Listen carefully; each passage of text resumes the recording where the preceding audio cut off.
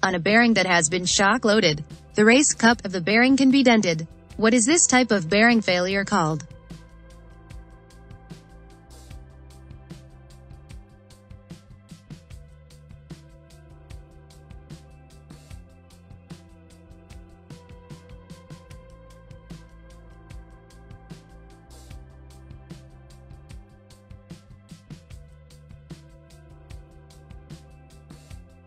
Brinelling. Brinelling is defined as indentations in the race caused by impact loads or vibrations.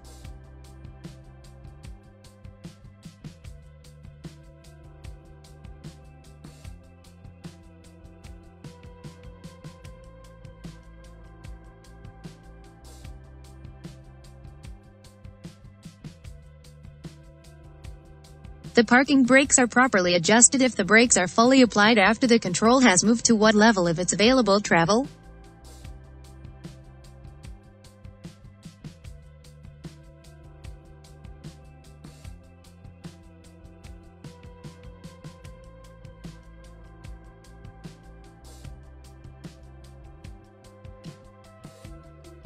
One third to two thirds. One third to two thirds is the industry standard.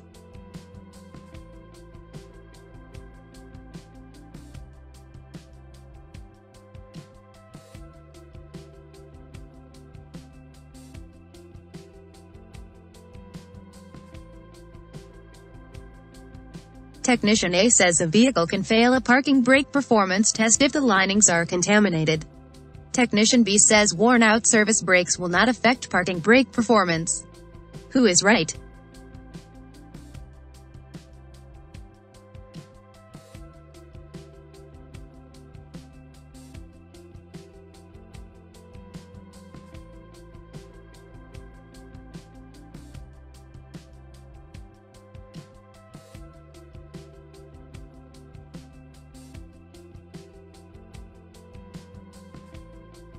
If only. Technician A is correct because contaminated lining will drastically reduce stopping distance and gripping power. Technician B is wrong because vehicles with rear drum brakes use the rear brakes as the parking brake. Therefore worn out brakes will affect parking brake operation.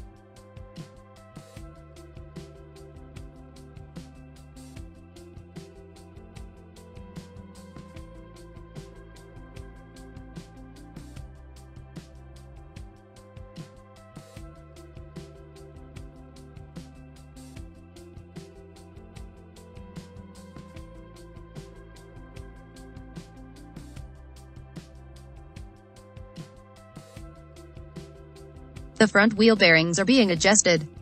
Technician A says you torque the adjusting nut to a specified torque and back off the nut till it lines up with the hole and install the cotter pin.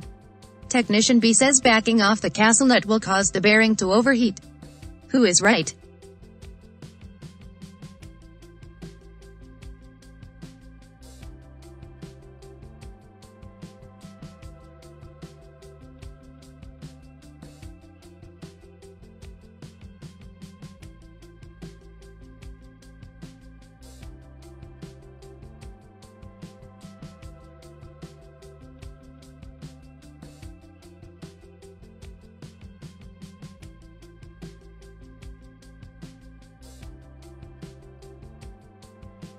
If only, you torque an adjusting nut to a specified torque and back off the nut till it lines up with the hole and install the cotter pin.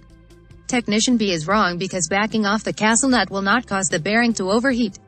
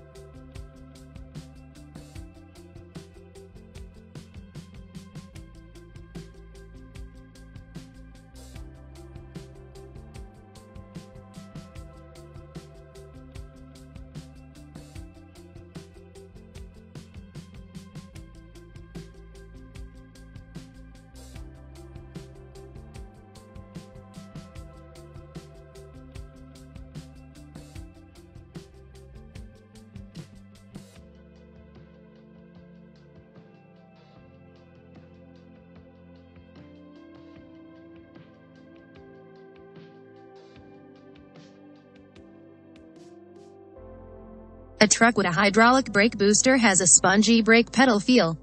Technician A says there may be air in the master cylinder. Technician B says the power steering belt may be slipping. Who is right?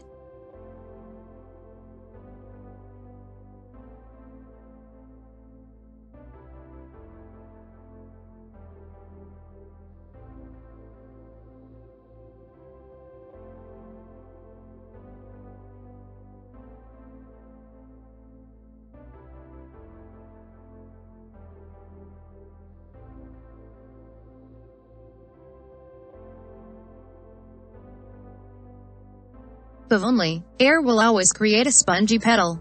Technician B is wrong because a slipping power steering belt will affect boost with no effect on a spongy pedal, the pedal would be hard.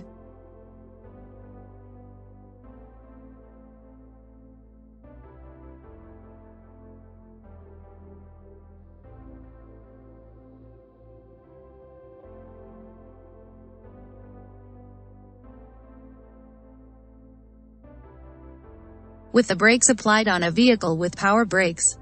The pedal moves down slightly when the engine is started. Technician A says the cause could be a leaking power brake booster diaphragm. Technician B says the cause could be a stuck closed residual check valve in the hose from the intake manifold to the power brake booster. Who is right?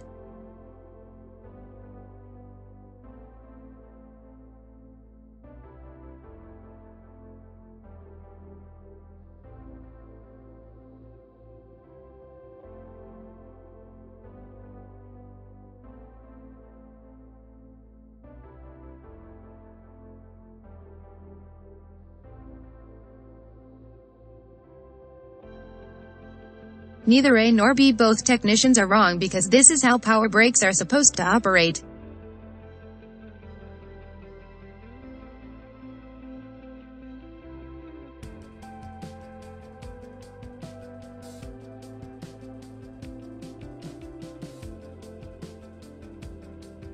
A vehicle comes in with a complaint of excessive pedal travel before the brakes apply.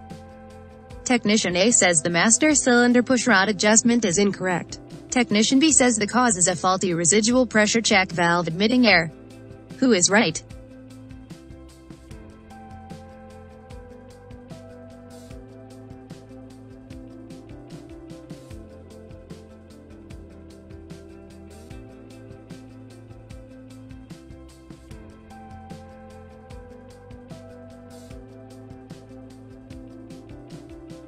Of only. Technician A is right because if the master cylinder push rod is too short there will be a delay in application.